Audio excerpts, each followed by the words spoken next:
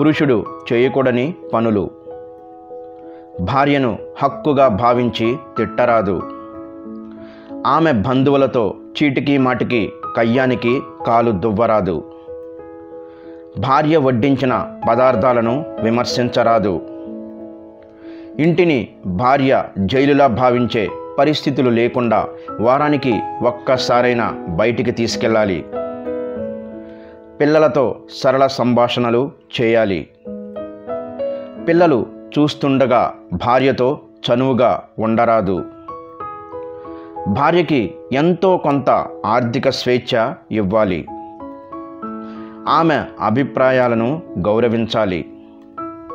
భార్య మీద ఎట్టి పరిస్థితులలో చేయి చేసుకోకూడదు. ఏకగదిలో కాపురం ఉంటున్నవారు పిల్లల్ని గమనించి కలవాలి. భార్యను భార్యలా కాకుండా సాక్షాత్తు మీ ఇంటి లక్ష్మీదేవిగా భావించాలి. ఈ వీడియోను లైక్ చేసి తర్వాత వీడియోని చూడండి.